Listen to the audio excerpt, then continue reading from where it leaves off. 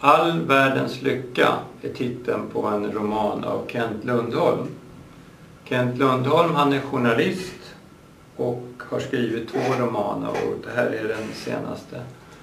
Eh, handlingen tilldrar sig i Västerbottens inland eh, i närheten av Lycksele.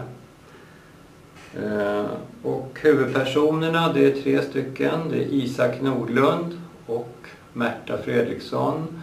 Och sen är det Isaks granne Hilmer. Ehm, där de bor är det en obeskrivlig kyla. Och Isak han har fått lära sig att härda ut med kylan. Och han jobbar dagligen i skogen med motorsåg. Och eh, för att klara vintrarna så ska han bygga en skogskoja där han kan värma sig medan han hugger.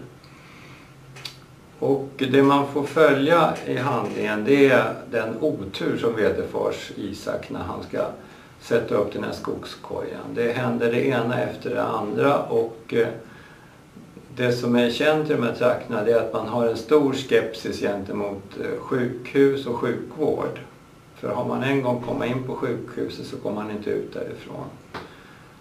Så att eh, vid ett tillfälle så, så ramlar Isak av skoten när han kör i skogen och slår huvudet i och då ställer han sig och han blöder och håller nästan på att förblöda.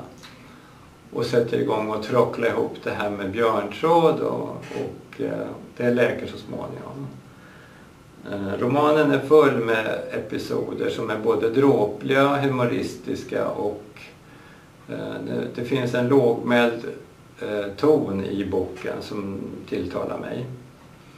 Och jag tycker nästan att den påminner lite grann om eh, Torgny Lindgrens berättarteknik. Och det är också lite grann den miljön där uppe. Den är väl värd att läsa av många skäl och den kommer troligen att filmatiseras också för det finns filmmanus till den.